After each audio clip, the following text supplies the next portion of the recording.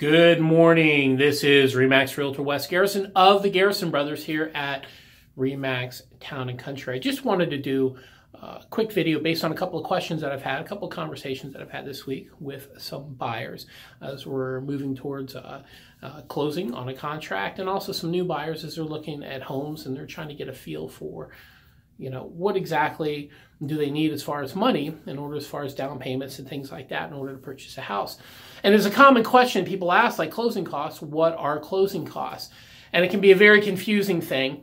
Um, so this video is just a quick overview for buyers closing costs, what they can expect to pay. It's just it's not meant to be a comprehensive, in-depth, detailed video, just a quick video to kind of give you an understanding.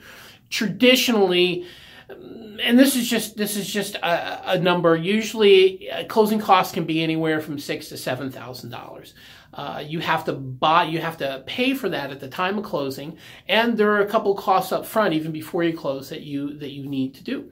Uh, some of those things are for like homeowners insurance, uh, origination fees, application fees, uh, credit report fees, uh, all types of things that go into the purchase of a house that you absolutely need to pay for. Uh, and even up front, you have two specific fees. You have your inspection fee and your appraisal fee. Um, of course, you always want to get your house inspected uh, to make sure there's nothing wrong with it. You have a, a, a very brief period of time to do that, uh, to decide whether or not you want to move forward. And once you find out that the house is is good. Usually you'll pay about anywhere from 250 to 350 for an inspection fee, usually on the higher end of that if you want a good inspector because you do get what you pay for. Um, after you move forward from that, you have what's called an appraisal fee because now that it's inspected, you see that the house is good. Um, you're going to want to pay for an appraisal to make sure it's actually as valuable as the seller as the seller says that it is. So you don't want to pay too much for a house. And usually that's a little bit more expensive. Appraisal fees, depending on the home, they, there's a big range in there. They can be anywhere from 450 all the way up to seven, eight hundred dollars, uh, depending on how complicated the appraisal is, the area that's located, and things like that. But these are all fees that you, as the buyer, have to pay up front.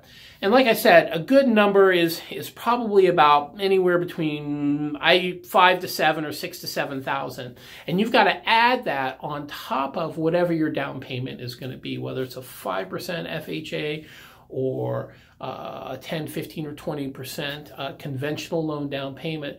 Um, you're going to need to pay that. You're going to need to pay that.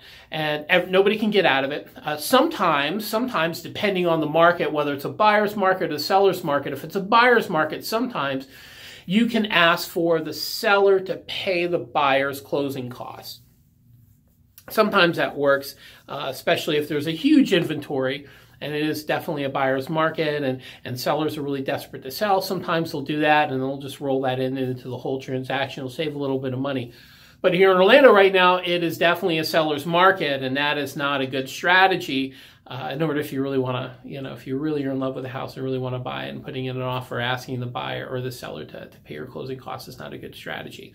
Um, so I hope the, the video is informative. Uh, if you need any help purchasing, buying, or selling real estate here in Central Florida, uh, my brother and I, Scott Garrison, the Garrison Brothers, uh, we have over 45 years combined experience doing this.